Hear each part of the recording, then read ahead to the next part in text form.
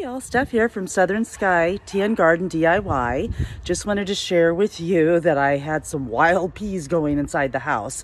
So I know they always say, you know, they don't agree with transplanting, but I have started some inside and the uh, little peas started sprouting and they got quite long. So we're going to put them in the ground right now and we'll be checking on them throughout my videos to see how they do and how they um, enjoy the company of the peas I already have going out in the garden. And mind you, it's December out here, mid-December in Middle Tennessee, and it's been in the 40s, 50s, 60s. It's been all over the place. Pouring rain yesterday. So we'll just see how they acclimate to the weather and keep you posted how they do. But I'll flip the camera around and show you what I have going on. So here are my crazy wild pea plants. You can see down in there. Oops. They are sugar snap peas, but I have them growing from the little pea pods in there, or I mean uh, pea seeds. And um, they went crazy inside the house because I forgot about them and started sprouting like crazy. So we'll pull one out here. You can see that's got quite the little brood on it going. So I'm going to use my little handy dandy tool in here. And I already did put this one in here, right here. So you can see that in there. And I'm going to, I'm kind of crowding them a little so they'll stay up and, you know, stay warm. Kidding. But anyway, so just gonna dig my little hole in there. Put that little guy down in there. The root is already like doing, having little, um, it had like little shoots growing off of it already. So pretty cool. But we're gonna just put it down in here. You can see what I'm doing here. I didn't have the best camera set up right now. But anyway, just got it going in there. And then here's another one that I'll put in here. And let's see, my glasses on, but can you see the little, um, the little extra growth it has coming off the side there? Pretty cool. This, these babies were like saying, plant me, mama, plant me. so we had to get these in the ground and hopefully they will take or keep keep going. I didn't destroy them here, but I've got my little digger tool here. Pop that down in there.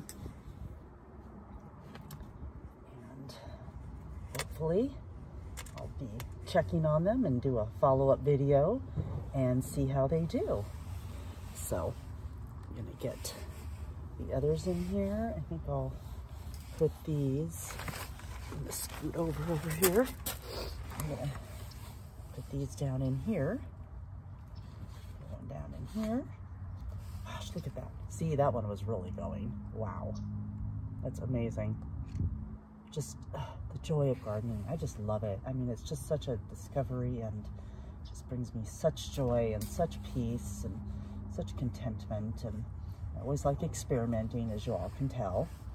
And how hold up out here, but they were growing so strong. There's my Let's see.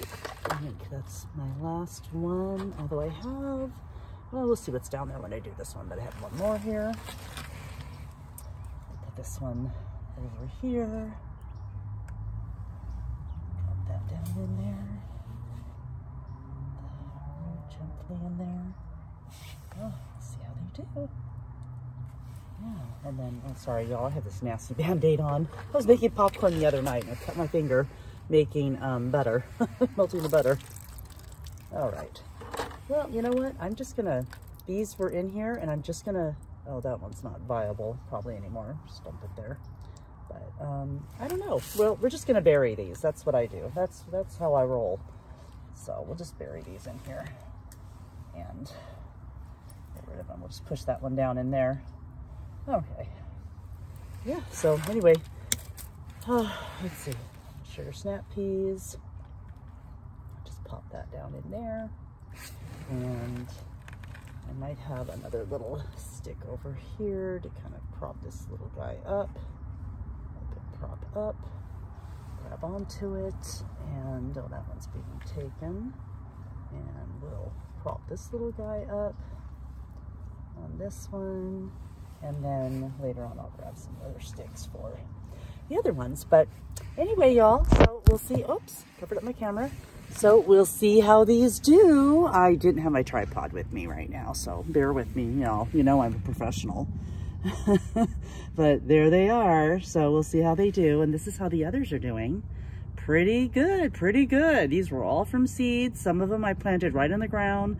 Some are um, ones I did just like this. I put the seeds in water and kind of let them sprout and we will see how they do. So thanks for joining me on this journey. Keep growing, y'all. Oh, and by the way, y'all, I just wanted to um, add this comment because my hair is like crazy, but I'll tell you, it's like a little fur collar.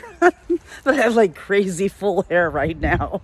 But it was keeping me warm in this weather because it is, it is literally 41 degrees out and it's going to drop to the low 30s. And I still have to now take a break and get Cash out for a walk.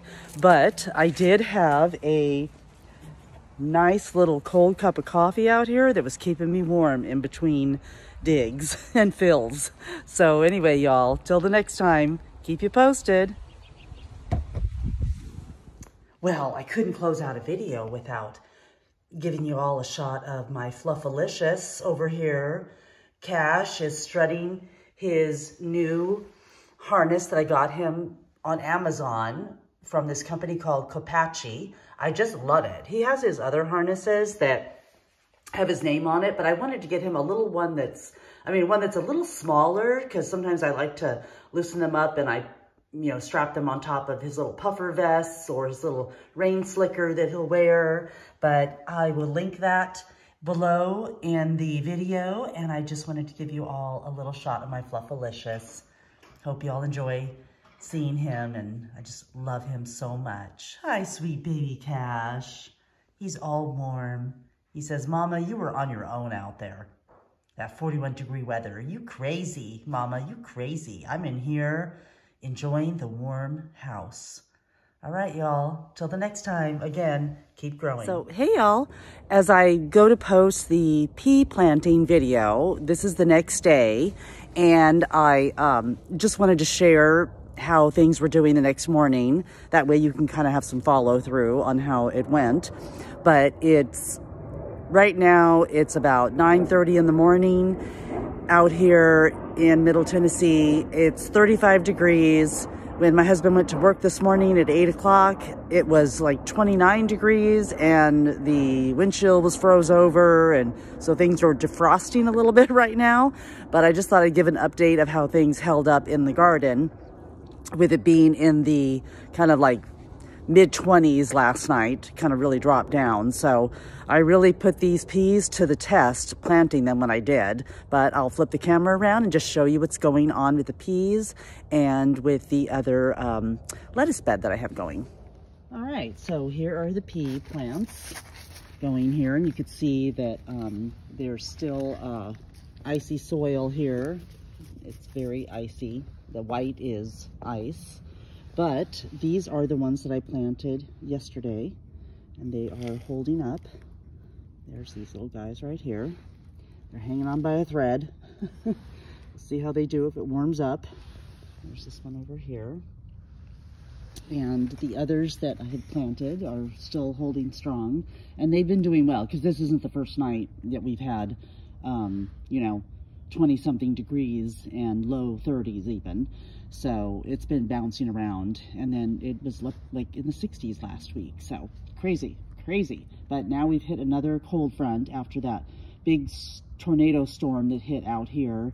But we're, we were safe from it out here. We're, where we're at in Middle Tennessee, we kind of have a, um, the protection of some hills around us. So we've rarely, we've never had, as far as I know from neighbors that lived here way before we have, never had a tornado touchdown in our area here. So we're grateful to God for that. So I will walk over here and we'll see what else is happening. But I don't have any flowers yet, but I think as it warms up, I'll already have a good start on these pea plants, should they survive even colder weathers than this. So see, and you can see that where I mulched before, I have um, covered it now with fabric netting here and it's icy and frozen. So this is the bed that we did, that I did yesterday. I'll be sharing in the details of that whole process in another video where I took out the tomato cages and replaced it with one of these beds and we have another one probably arriving early this week. So I've already cleared a space out and getting ready to lay it next to it and have it filled. Great price on these, y'all. So um, I'll leave a link even in this video also below of uh, these beds. It was a great deal, $26 for this bed and it's pretty much like two feet by one, two, three, four, five, yeah, about five by two. So really good deal. $26, normally $80. So great um, buy there. I'll leave the link, like I said. So anyway, you can see things are very frozen right now. And we still have some lettuce going in here it'll defrost. I have the lettuce going and I did a transplant video a while ago, kind of experimenting. I don't know if anything really took from those. I had a few things prop up, but now it's so frozen that um, we'll see what can survive. But I did put down seeds in here, so just to get a jump start on them. I planted some cilantro in here, and I did some red uh, leaf salad mix over there. And then I don't know if I planted anything in here, but I'll probably throw down just some some more um, green leaf lettuce seeds. I think I did, but I just didn't label it because it's about the same as that. Those are like a green leaf lettuce. So, and the um, radishes I have going in here are hanging in there. The green onion, and I have the green onion going over there on the other side chives are still hanging in strong and I'm going to be doing a video on that. I'm going to dehydrate some of those and get those dried up and be able to use them in our soups and our recipes. So there they are. All right, y'all. Not a whole lot going on right now, but I do have some garlic going over here. The garlic scapes, garlic scapes are peeking through, so I'm also going to dehydrate those and do a little garlic salt. And um, then uh, I'm late in the game, but I'm very late in the game on planting garlic in here. So probably towards the end of this week, I'll do a video on getting my garlic in here. I have um, a red, I can't remember the exact name of it, but it's uh, a red or pink uh, in the name of it. it has a red, uh, red in the title of it. Garlic and then elephant garlic. So I'll get those planted in here. And I may put some in here, but like I said, I'm leaving these un this uncovered right now. I haven't mulched it because we want to start throwing some food scraps in there and some cold compost in there before we put anything to rest. But I may use at least half of one of the beds or one of the beds for additional garlic. So keep you posted on that. All right, y'all. And then I've got, oh, my like radishes down in here too. Still hanging strong. So lots of greens down in there. Okay, y'all, so that's the pea update and the garden update over here. And there's Cashy lounging in the sun. Sweet boy. And I will kind of pass on just a close update in there. But you can see I've still got salad. I mean, salad. Yeah, it is salad. I've still got lettuce going in those and some mustard greens. The strawberries are going dormant and I still have a couple green onions growing out there and some lemon balm. And then I'm going to be cleaning out my herb, uh, my raised herb bed um, and uh, throw some more cilantro down in there and some other cold weather herbs. And this will bounce back here. Here's, oops, zoom out a little. There's cilantro going in here. It just kind of drooped down, but it'll come back. They're cold weather hardy, so got a little going in there. But yeah, throw down some more seeds. And even as things warm up in the spring, or early, early spring, um, I'll have a jump start on some stuff. I'm climbing over the fence here. Oh, okay, sorry y'all, make you dizzy, but got over the fence and heading back to the house. So there you go. Things are happening.